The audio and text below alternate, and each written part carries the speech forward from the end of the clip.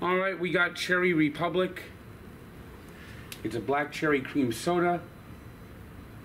Uh, it comes from uh, Michigan. And it says it's made with Michigan cherries. Uh, didn't know they had cherries in Michigan.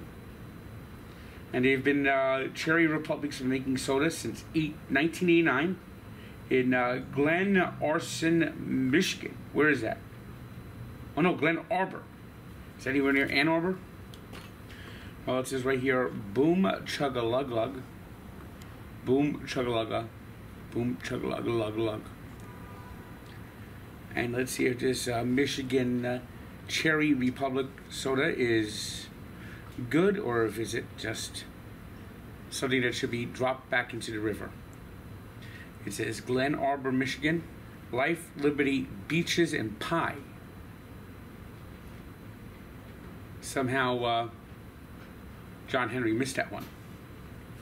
Brent, Brent, Brent, Ben, den, den, den,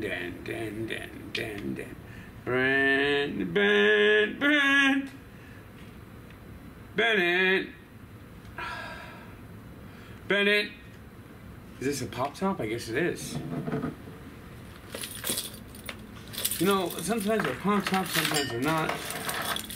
So let's pop this top off. There you go.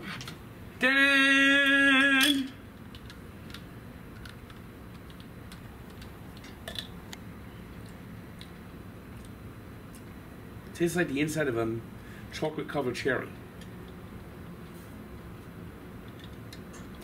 Good for candy, but I don't think it's that great for soda. It really does taste like a chocolate covered cherry.